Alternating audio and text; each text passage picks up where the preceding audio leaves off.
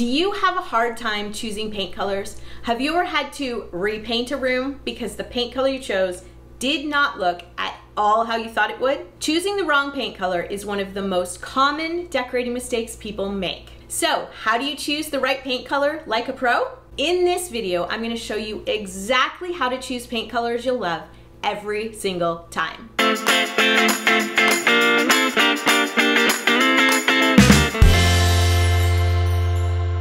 It can seem like a huge task to choose a paint color, especially if you've ever spent hours rolling paint onto the wall only to realize it's just not the right color at all. I often say it's just paint and it can be painted over. But paint has gotten more expensive along with everything else, and I do feel your pain because of the time and money lost. I've chosen the wrong color paint too in the past. In fact, when we moved to this house, I repainted our master bedroom three times because I was rushing and didn't remember my own advice. My number one tip is don't choose your paint first. I know sometimes you feel like you should go and choose your paint color first because it takes up most of the space in a room. The walls are huge. You know, it takes up a lot of space. But it's far easier to choose one of thousands of paint colors to go with the other things in your home than it is to choose those things furniture decor, area rugs, things like that to go with a paint color. So always choose the big things first. The flooring, the furniture, the area rugs, the curtains, the art even.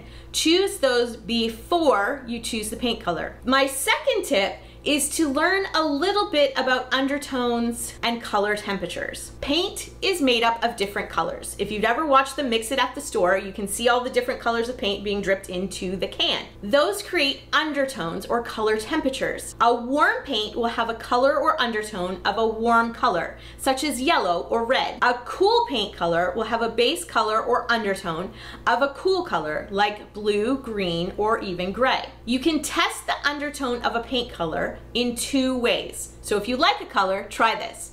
Place a single swatch on a white piece of printer paper and see what color really comes out to you. This works especially well with white paint colors. Go check out my other video to see how specifically to choose white paint colors. Anyways, the second way is if the paint color is on a swatch with more than one color, look to the very bottom color. It will usually be much more saturated and therefore will show more of the true color undertones, whether it's cool or warm, yellow or, you know, pink or any of that. When you can see the undertones in a paint color, it makes it easier to choose one that will work in your home with your decor. My third tip is to never, ever, ever, ever choose paint colors at the store, ever. There's a story that I hear all the time. Someone goes to the paint or hardware store itching to do a makeover on a weekend, wanting to buy paint to start that makeover. They have a general idea of the color they want, you know, maybe a green or a blue or a red or a yellow, but they're not exactly sure of their paint colors yet. So they go to the, you know, Home Depot, Lowe's, paint store, whatever. After some hemming and hawing, while they're standing there looking at all the options, they choose a color that they think that they love and get a gallon or two or three mixed depending on the size of the room. They are so excited to get that paint home and get that weekend DIY underway. But, oh my goodness, the but. But when they get home and start painting, the paint doesn't quite look like it did at the store. Something is very different. The reason for that is that they broke the biggest rule, the biggest tip I have, even though this comes third in my list, never, ever, ever, ever choose paint colors at the store. When we pick a paint color at the store, it's usually under what kind of lighting? Yellow fluorescent lighting, harsh and glaring, and very different than you're likely to have in your home. That lighting, that harsh fluorescent lighting, changes the way that paint color looks to your eyes in the store and how you see those undertones that we talked about already, the paint color you chose at the store will simply never look the same once you get it into your home. So never choose the paint color at the store. My fourth tip for choosing paint colors is to try an inspiration piece. One of my favorite hacks, especially for beginners, is to choose colors for your home pulled out of an inspiration piece.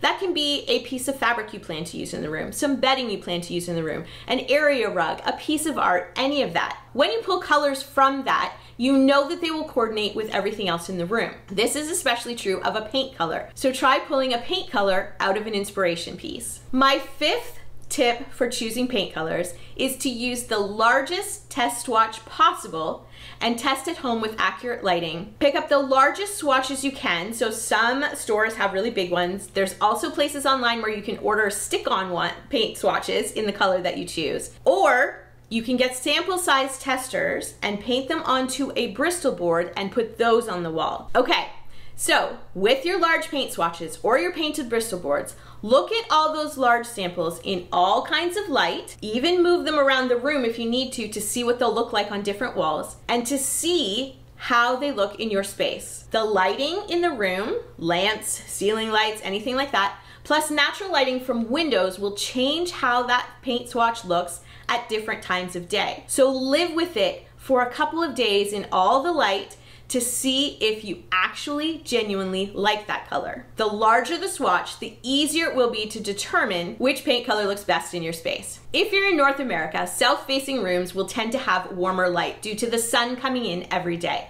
The natural light will be a yellowish white light and may wash out some colors. Even still, most paint colors will work in a room with southern exposure, but a cooler color may be preferred to balance out the yellower lighting. North facing rooms will have a cooler blue or gray natural lighting. For these spaces, you can use a cool color, but it may seem even cooler and more blue-gray and chilly than it would in another room. That's what happened in my master bedroom. It's a north facing window with a pool in the backyard, so the lighting reflects very very, cool in there. A warm paint color will probably be preferable in a northern facing room. East and west facing rooms will either have warm or cool lighting depending on the time of day as the sun goes over the house. So you could use either warm or cool colors in an east or west facing room. Choosing paint colors doesn't have to be quite so painful if you follow these simple tips. Don't choose your paint color first. Make sure all your other decor is chosen before you choose your paint color. Remember, the paint is made up of several base colors and those will show through in what is called undertones.